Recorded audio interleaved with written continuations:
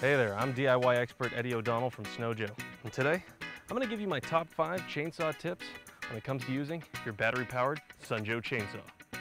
Tip number one, always wear your personal protective equipment. It's always important to be safe when you're working with any tool, chainsaws definitely included. So, chainsaw chaps to protect the legs, gloves in my pouch right here, and of course if I'm working overhead, definitely want to be wearing some sort of headgear, the ear protection. But one thing we should never forget are the most important safety glasses.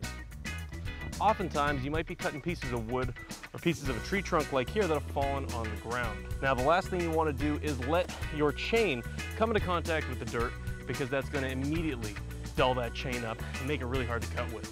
So the trick is cut about halfway through the top, roll the log, and we'll cut about another halfway on the other side.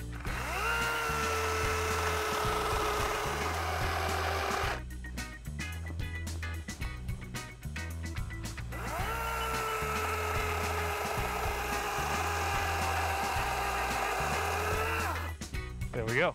Easily cut up and the chain never touched the dirt. When it comes to cutting any logs that are elevated like this, if we come straight down to the middle, we're gonna pinch the bar in between here to make it very hard to cut. The trick here is to cut halfway underneath, move over an inch to the side, and then cut downwards to give it that room so the blade never binds.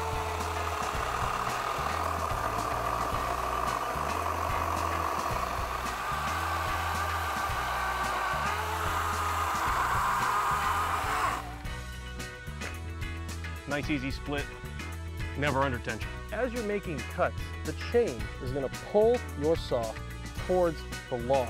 Now that's what these metal spikes right in here are for. These metal bucking spikes right here allow you to use that action to lever the saw down, just like this.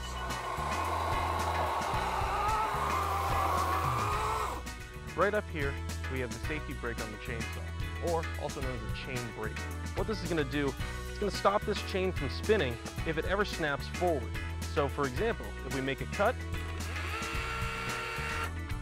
and the saw kicks back for whatever reason, that chain brake activates so it won't hurt us. A good practice is to always push the chain brake off to make sure that the saw is never engaged anytime you put the saw down when you're not working.